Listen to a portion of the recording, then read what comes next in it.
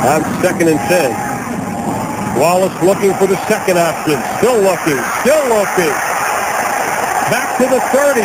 Scrambling. Tight stroke down inside the 10. Look out. Looking for a block. Gets it. Wallace. Touchdown. Incredible play.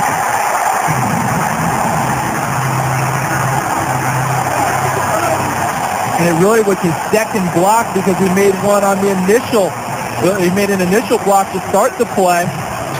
Jamal Montgomery, number 83, was the primary receiver. He had fallen down. So Seneca Wallace improvised.